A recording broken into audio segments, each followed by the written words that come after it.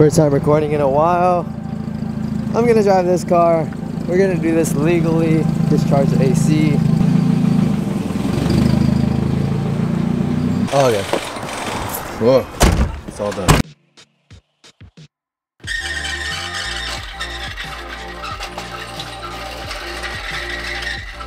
Here's where I'm at at the moment.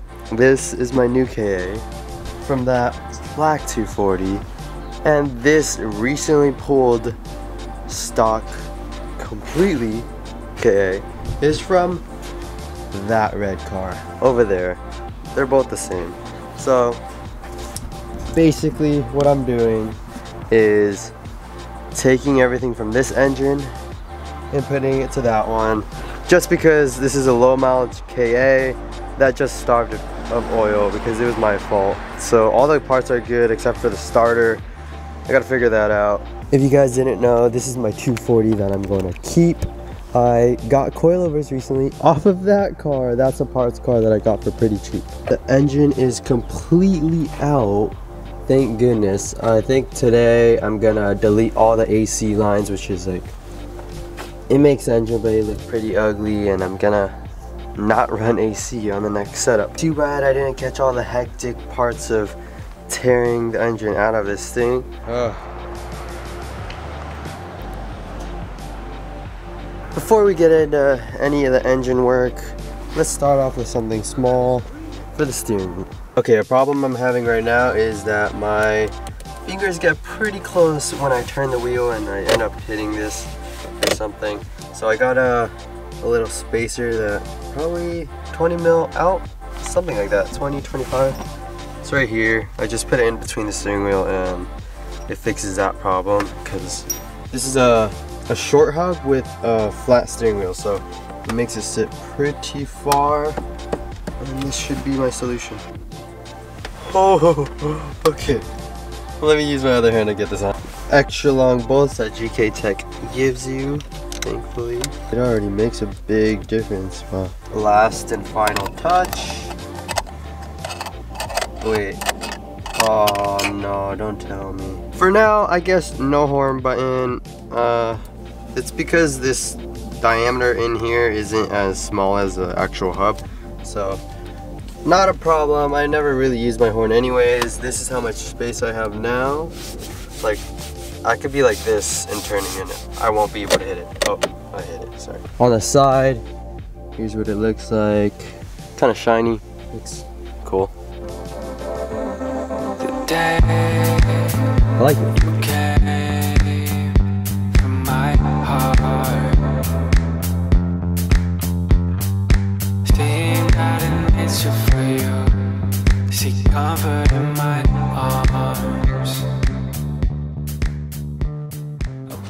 Now this, all of this has been causing me the biggest trouble. Mainly the reason why I have the engine out.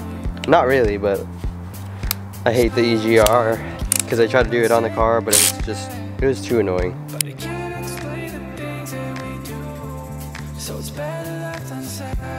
All this EGR related stuff, finally gone.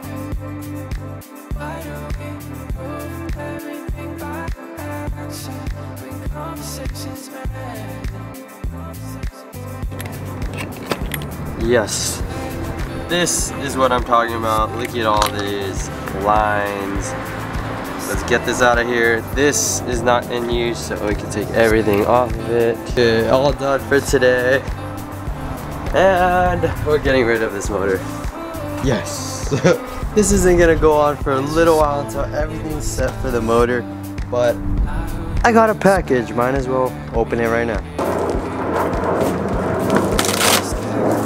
Look at this thing. Oh my god, it's a turn down exhaust. It's pretty light too. Whoa, this is sick. By ISR.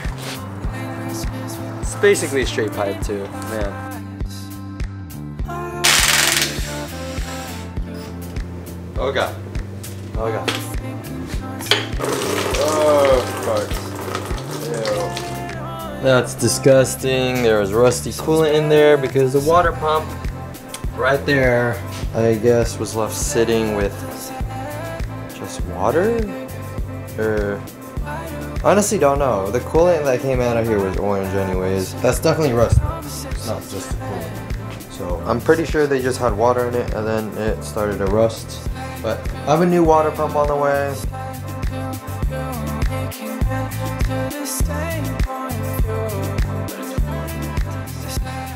Here it is. This is the new power plant of the 240 that I own. And yeah, it's pretty much almost there. There's only a couple things that I need to do, but I know, say if you're getting into redoing your KA, this is how I did mine, and I think it's pretty good. So, I mean, just to start off, well for now, I'm not done with this yet, but I need to change the valve cover gasket and then helicoil the block so the valve cover can thread on because this hole right here is stripped so gotta do that. Yeah for header side I have the EGR plug right here. Again this is for people who want to get familiar with KAs I know this can be boring to some people but inter interesting for others. I am not running AC so I have all of this space and I'm gonna love it in the engine bay it's gonna be so clean but I definitely have to power wash this thing once I have everything sealed up. Intake side of things is where all the goodies happen. Well, kind of. A lot of simplification, simplifications. Over here should be all your EGR stuff. All that. So all the things that's unbolted without the bolt, um, that's all gone. Right here, the swirl control valve, you do that. I tapped it and then JB welded a bolt into there so it won't leak.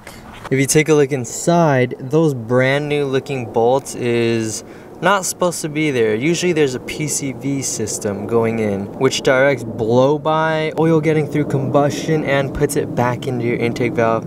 Um, yeah, I just, it makes everything cleaner. Took it out and I'm gonna run a different system for that. To our right is the EGR block off plate. Made it easy for me, thank you ISR.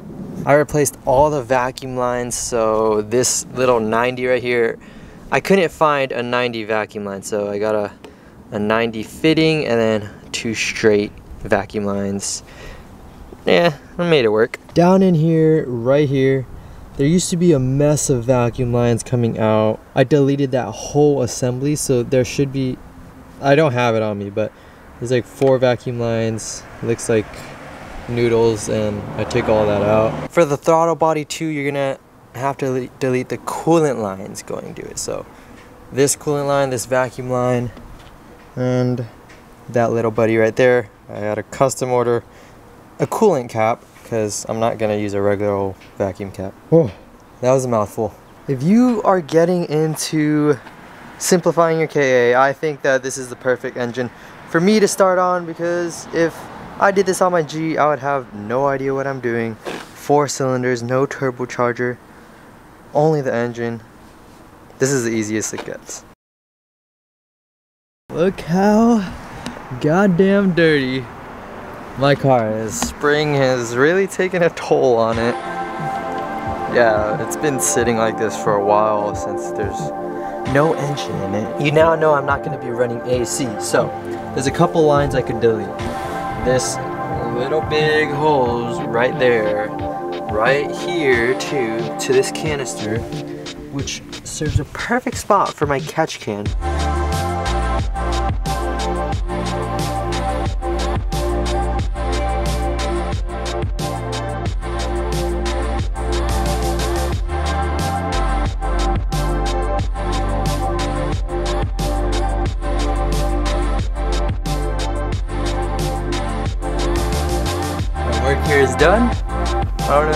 Notice a difference, but this is all the stuff. For the AC, there's a couple stuff I need to do today. So all the water housing, the heater outlet, the outlet that goes to the radiator, the water pump, I need to get all those on. That's easy though, just bolt on. But something new that I'm doing is installing helicoils in the valve cover bolt holes because one of them is stripped and if I'm gonna do all the gaskets, might as well fix this too.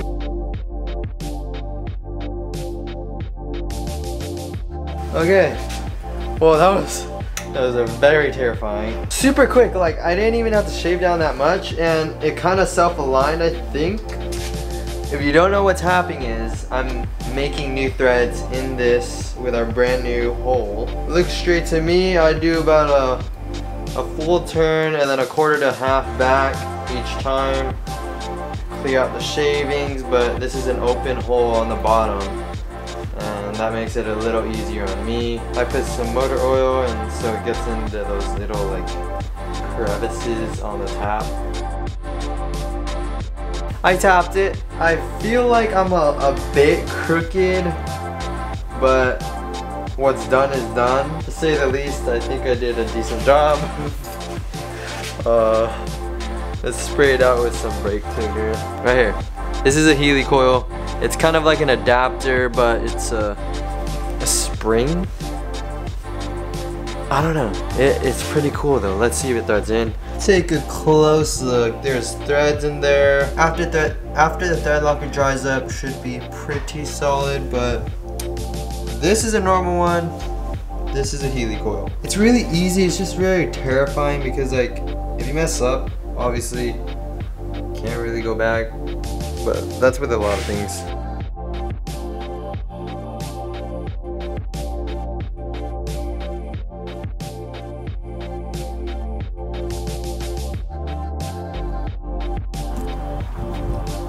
Quick random update. I am painting the engine bay, a quarter of it, just so no rust. Definitely not the cleanest job when painting, but all that was all bare metal due to me having a fat exhaust leak for a little minute. All I did was scotch brite it, self-etching primer, then regular primer. I'm gonna be on to the base coat so it matches. This is the order I used it in first. I mean, the color kind of matches. This is just a little faded. I'm gonna try to blend it in a little if I can um, to make it a little more appealing. I need to get this pilot bushing slash pilot bearing out, whatever you want to call it. Then you slide it out. Oh my god, it was that easy, guys. That flipping easy.